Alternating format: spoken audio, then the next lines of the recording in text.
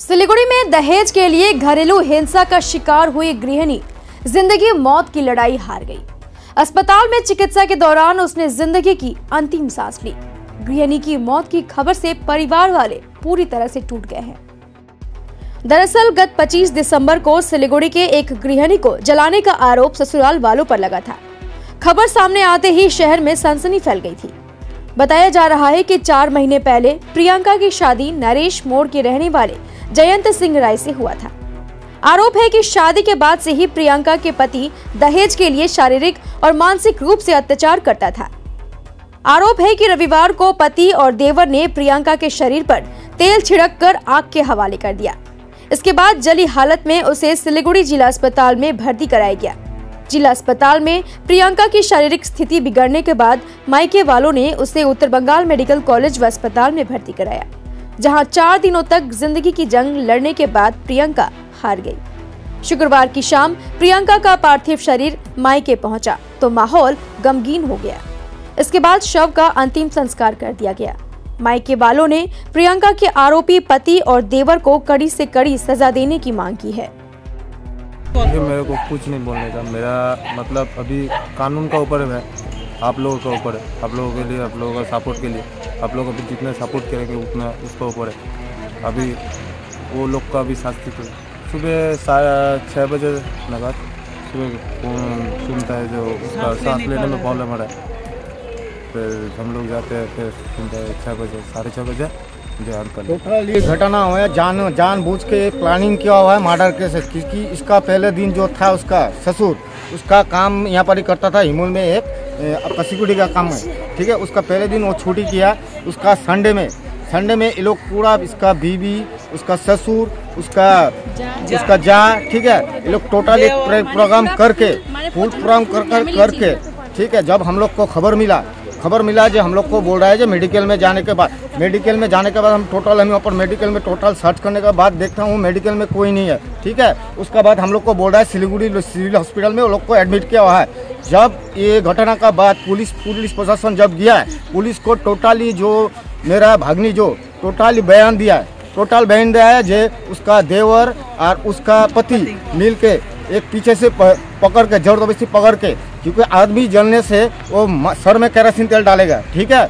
मुँह में नहीं मारता है और हाथ में और पैर में नहीं मारता क्योंकि उसको पीठ में कुछ नहीं हुआ था। पीठ में भी कुछ नहीं था ना सीने में कुछ हुआ था ठीक है? टोटली ये जान बूझ के टोटली जाने बूझिए एगो साजिश करके उसको मारा हुआ है। के लिए हम लोग टोटल टोटली अभी आयन का आयन का ऊपर आयन का ऊपर ही टोटल डिपेंड है जे आयन क्या सजा देगा।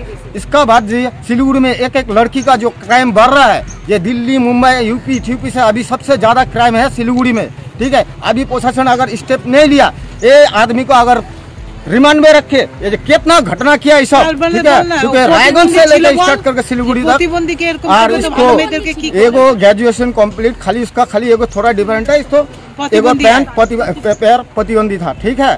उसको जान बुझ के क्योंकि हम लोग माना घर वाला को मना कर दिया था टोटली डायरेक्ट मना कर दिया ऐसा लड़का का साथ हम लोग, क्योंकि रायगंज को खबर लेने के बाद, ऐसा लड़का का साथ हम लोग शादी नहीं दूँगा, ठीक है?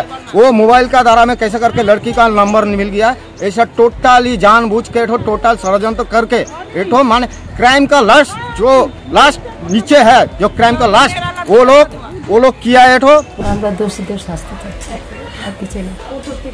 কঠোরতম শাস্তি। বুঝছ? আমার দেখতে এসে ঘটক নিয়ে আসছিল বুঝছ?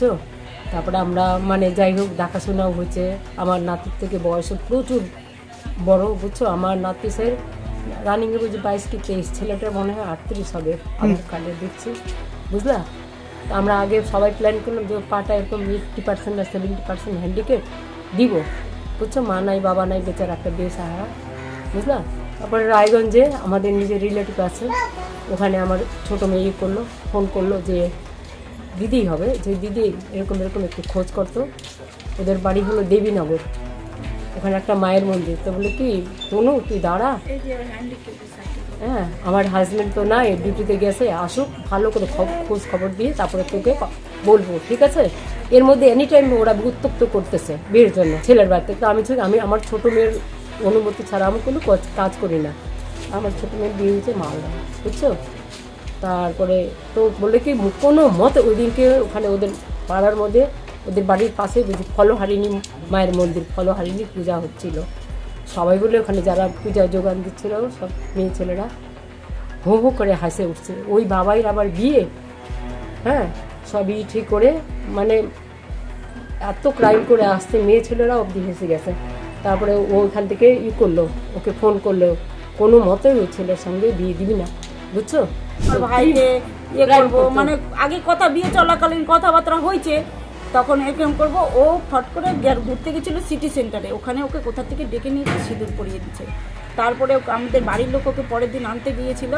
কিন্তু ওকে এমনভাবে মেন্টালি যে তুমি যদি কিছু করো যে তোমার ভাইকে হেন করব তেন করব ভয় পেতো ও সেটা। কিন্তু আমাদেরকে সেটা প্রকাশ করেনি। জোর জবস্তি করছে হ্যাঁ করছে এখন ও সেটা প্রকাশ করেনি এখন। তারপরে নানা রকম ভাবে ওর শ্বশুর একদিন আমাকে ফোন করে আপনারা তো কোনো ডিমান্ড দেয়নি কিছু দেয়নি। আমি আমরা তো নিজে বিয়ে দিইনি। ওর নামে অ্যাকাউন্টে টাকা রাখা ছিল ওই টাকাটা দেওয়া ব্যবসা করব। বাড়ি তোমার কার নামে? তোমার তোমার মানে ওর ভাই বলতো ওর ভাই এসব বলতো।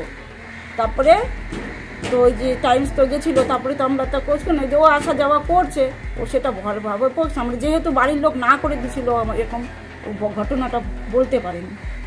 আর মেয়েটা খুবই অভাগা।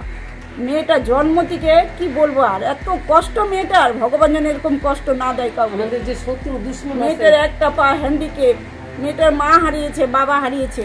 আর কি বলব আর সেই মেয়েটাকে এইভাবে নিয়ে যায় মার্ডার করল ওরা।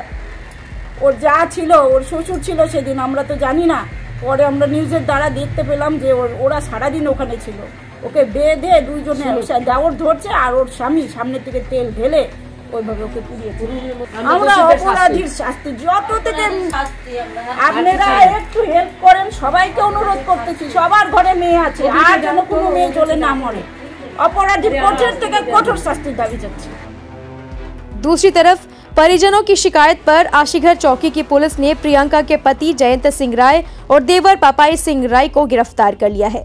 वर्तमान में दोनों न्यायिक हिरासत में हैं। फ़िलहाल पुलिस पूरे मामले की जाँच कर रही है।